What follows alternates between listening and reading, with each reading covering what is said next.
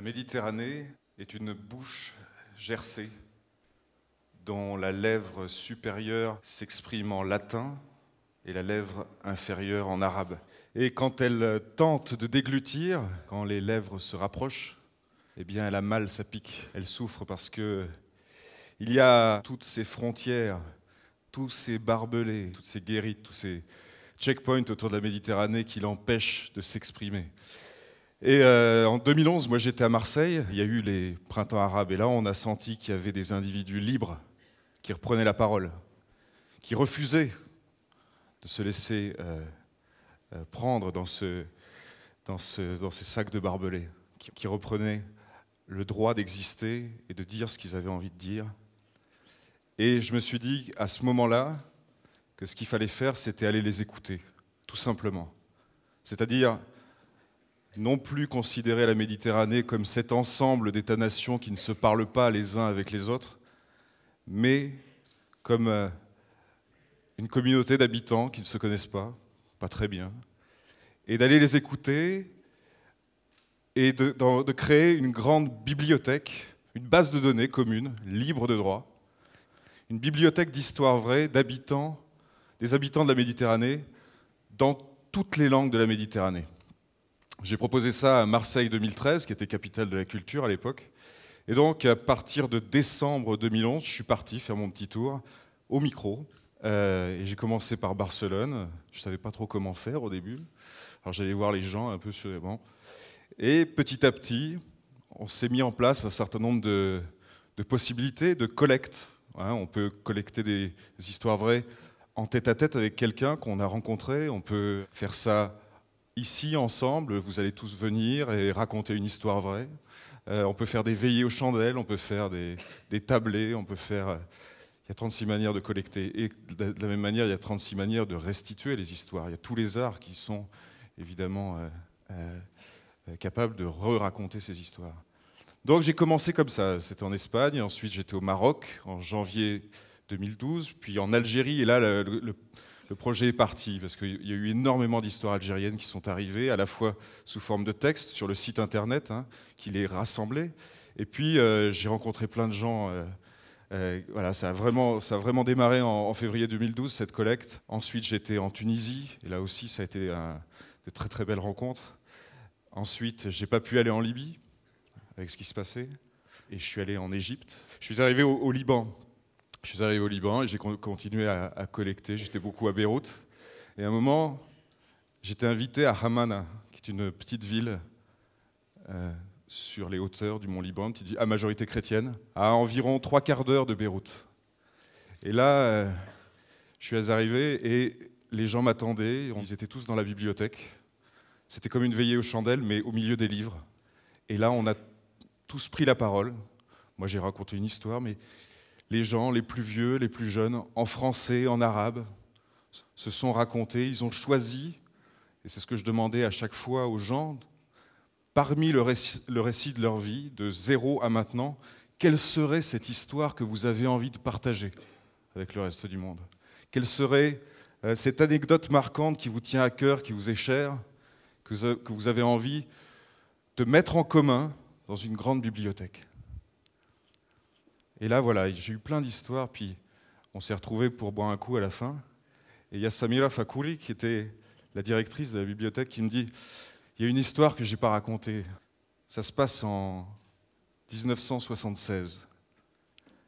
C'est la première année hein, de la guerre civile au Liban, et c'est aussi l'année où l'armée syrienne est venue occuper le Liban. Et ils ont installé en particulier à Hamana des canons pour bombarder Beyrouth. Et ils attendaient les ripostes.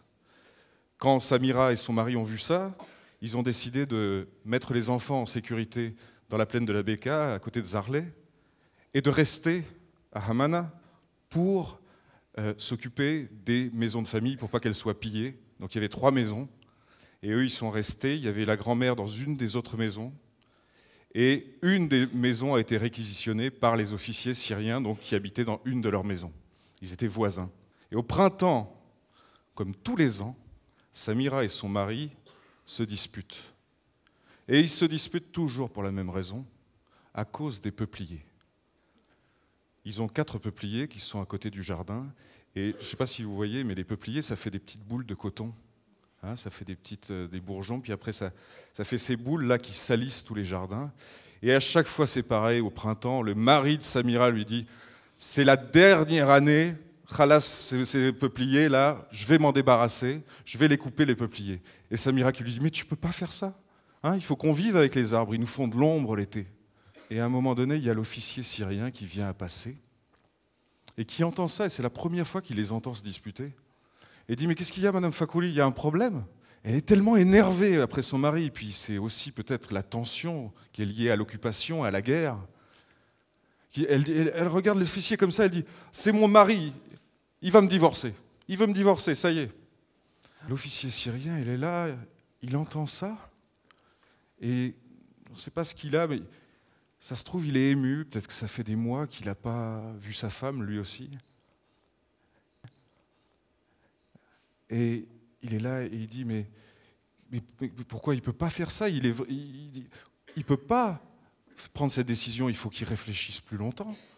Le mariage, c'est sacré. Il ne peut pas vous divorcer comme ça, Madame Fakouli, vous êtes une femme très bien, etc. Samira lui dit, il veut me divorcer, et monsieur l'officier syrien, je vais vous dire pourquoi. L'officier syrien dit, non, non, moi je veux rien savoir, écoutez, euh, c'est vos, vos histoires personnelles, c'est votre c'est votre vie privée, je ne veux rien savoir. Il dit, si, si, si, je veux vous dire pourquoi. Vous voyez ces peupliers, monsieur l'officier syrien, vous voyez ces quatre peupliers? Eh bien, ils font des petites boules de coton comme ça, des petites boules. Ça tombe, ça salit son jardin, il vous coupez les peupliers. Moi, je ne veux pas qu'il coupe les peupliers, alors il va me divorcer. L'officier syrien la regarde comme ça, il dit, c'est ça votre problème, Madame Fakouli? C'est ça, là, votre problème, Et là, il se retourne comme ça et il appelle ses soldats. Il se retourne, il appelle ses soldats, il les appelle comme des animaux. Il dit Hayawan, venez là mes soldats, rassemblez-vous autour du jardin de Madame Fakouri. Tous les soldats se rassemblent. L'officier dit Vous voyez ces quatre peupliers? Et les soldats Oui, on voit les quatre peupliers. Eh bien, mes soldats, vous allez me cueillir tous les bourgeons des peupliers. Et là, Samira me dit, j'ai vu l'armée syrienne monter trois par trois dans mes peupliers. Je voulais faire une photo, j'ai pas osé. Et cueillir délicatement les bourgeons de ces peupliers, puis descendre et les mettre dans des sacs. Et je me suis dit, quand même, quand même, cet officier syrien, il a eu du cœur. Hein, il a eu peur pour mon couple. Elle me dit ça, et voilà, on finit la soirée. Et puis je continue mon, mon périple. Je vais ensuite en, en, Turquie, beaucoup à Izmir, en Grèce, à Athènes, euh, en Sicile. J'ai fait que la, que la, Sicile en Italie. Je finis par euh, Israël, où j'ai passé pas mal de temps dans, à Tel Aviv, dans des kibbutz, à, à Haïfa, à Nazareth, et puis en Palestine, où j'ai commencé par Hébron, qui a été un, un vrai choc. Euh, puis Ramallah, puis euh, Naplouse, puis Bethléem. Et ensuite, j'ai passé du temps à écrire à partir de toutes ces histoires qui avaient été collectées sous deux formes différentes, les histoires, les re-rendre, les re-raconter aux gens sous la forme d'un livre, La Lune dans le puits, qui est le recueil Histoire vraie, où je donne l'exemple, et c'est ce que j'aimerais qu'on essaye de faire ensemble. À chaque fois qu'on nous raconte une histoire vraie. Je ne sais pas si ça vous l'a fait quand je vous ai raconté cette histoire des peupliers en fleurs, mais on finit aussi par penser soi-même en miroir à nos propres histoires vraies. Et donc dans ce livre, La Lune dans le puits, je raconte aussi moi mes propres histoires vraies, du, de la naissance jusqu'à maintenant. J'ai fait ça, j'ai fait des créations sonores pour euh, Arte Radio, et puis il y a quelques mois, avec un groupe de gens qui de différentes compétences. On a créé une association qui s'appelle Histoire vraie de la Méditerranée. Et euh, j'ai initié ça. Pour l'instant, il y a 1500 histoires vraies qui sont dans cette bibliothèque, dans cette base de données.